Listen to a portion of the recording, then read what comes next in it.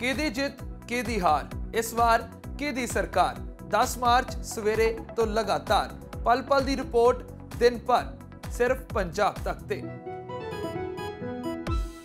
अ, देखिए अ, आम आदमी पार्टी ने पंजाब में बहुत मेहनत से ईमानदारी से और एक पॉजिटिव एजेंडा पे इलेक्शन लड़ा है पंजाब की आवाम के सामने एक मॉडल ऑफ गवर्नेंस की बात रखी और हमारा ये विश्वास है कि ये चुनाव, बदलाव का चुनाव है। और पंजाब के लोगों ने अरविंद केजरीवाल जी, भगवंत मान साहब की जोड़ी को गले लगाने का मन बना लिया है। भगवंत मान साहब को मुख्यमंत्री बनाने का मन बना लिया है।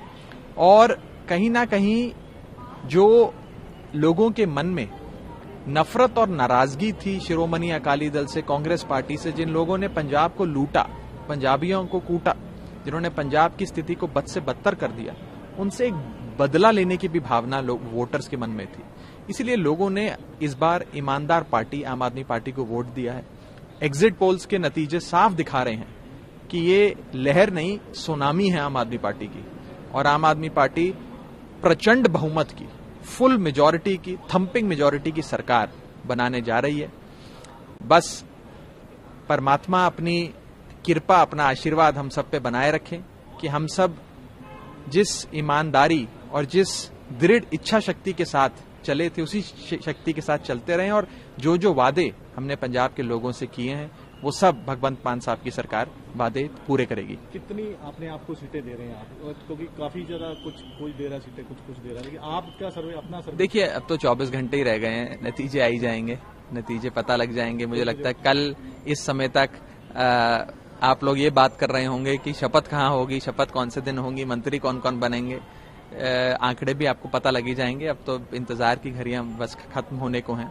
लेकिन एक चीज़ ये चुनाव ज़रूर बताता है, दिखाता है कि आम आदमी पार्टी अब एक राष्ट्रीय राजनीतिक फोर्स बन के उभरी है, एक नेशनल पॉलिटिकल फोर्स बन के उभरी। है आपको याद होगा जब भारतीय जनता पार्टी का जन्म हुआ था, जब बीजेपी बनी थी, बीजेपी को जनसंघ की बैकिंग थी।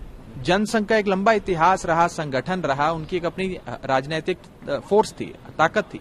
उस ताकत के बलबूते बीजेपी का जन्म हुआ। फिर भी बीजेपी को अपना पहला राज्य जीतने में, पहला राज्य सरकार बनाने में दस साल लग गए। अभी तो आम आदमी पार्टी दस साल की भी नहीं हुई और आम आदमी पार्टी की दो राज्यों में सरकार होने जा रही है। तो कहीं ना कहीं आज ये नज़र आता है कि आम आदमी पार्टी एक नेशनल फोर्स बन गई है, आज एक नेशनल पार्टी बन गई है, और मेरा अपना ये मानना है कि आम आदमी पार्टी कांग्रेस पार्टी की नेशनल और नेचुरल रिप्लेसमेंट बनेगी। देखिए, पंजाब हमेशा से ही एक ऐसी क्रांतिकारी भूमि रही है कि यहाँ पर जो लोगों का आशीर्वाद पा लेता है, यहाँ पे जिसको संगत का आशीर्वाद मिल जाता है, फिर वो हर मैदान फतेह कर सकता है। तो मुझे लगता है कि पंजाब के लोगों ने जो विश्वास दिया है, उससे आम आदमी पार्टी और मज़बूत होगी और दिन दुगनी, रात चौगनी तरक्की करेगी।